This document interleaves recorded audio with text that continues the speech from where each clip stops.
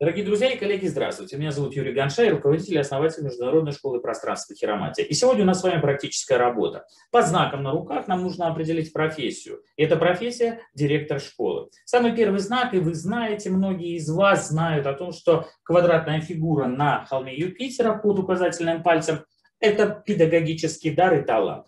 Суть на самом деле этого знака в том, что квадрат ограничивает наши амбиции. И амбиции, внутренние амбиции э, учителя – это прежде всего высокие результаты его учеников. Поэтому будем считать, что педагогический квадрат у нас присутствует, и человек может стать преподавателем.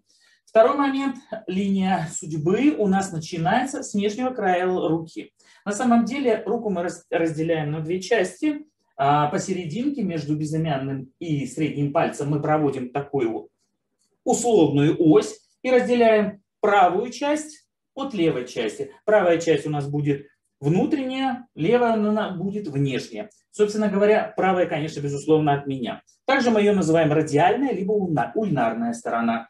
Еще есть терминология тенарная часть, тенарная сторона и гипотенарная. Но это все вы позже узнаете. Итак, Линия судьбы у нас начинается именно с нижнего края руки, то есть с холма, собственно говоря, Луны. Вы тоже об этом узнаете поподробнее э, в последующих наших эфирах.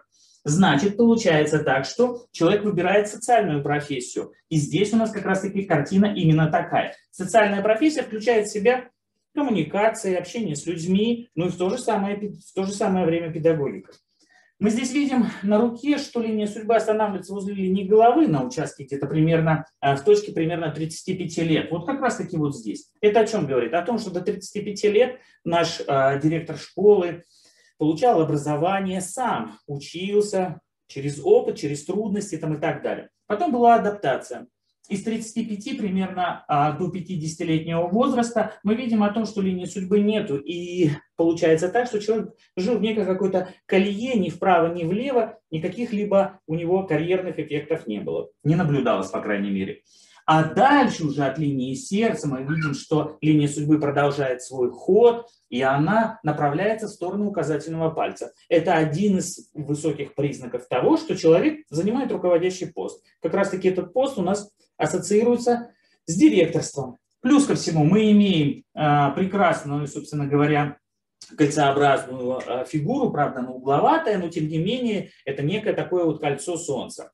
Кольцо Солнца, либо кольцо под безымянным пальцем, которое говорит о том, что человек довольно-таки известен и популярен, собственно говоря, в своей профессии, в своих кругах. Мы понимаем о том, что директор – это очень довольно-таки известная а, величина, крупная фигура, и, безусловно, его каждый ученик и каждый родитель, а, по сути, должен знать.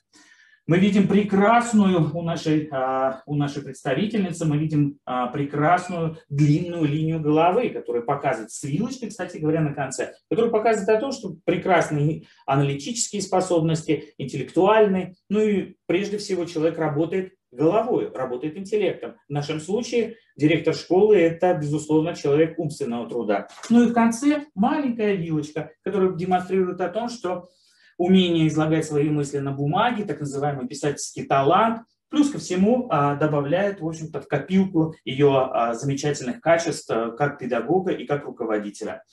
Широкий холм, широкий холм Венеры, который образует огибающая линия жизни, показывает о том, что довольно-таки большое количество общения и а, большое количество времени человек проводит, безусловно, за пределами своего дома. Мы понимаем о том, что директор школы – это фигура общественная, и все ее личное время отдано ее профессии. Вот таким вот образом мы будем с вами заниматься практической работой. Поэтому подписывайтесь на, нас, на наш канал, следите за нашими анонсами. И, кстати говоря, на следующей неделе будет мой эфир. Приходите, будет интересно.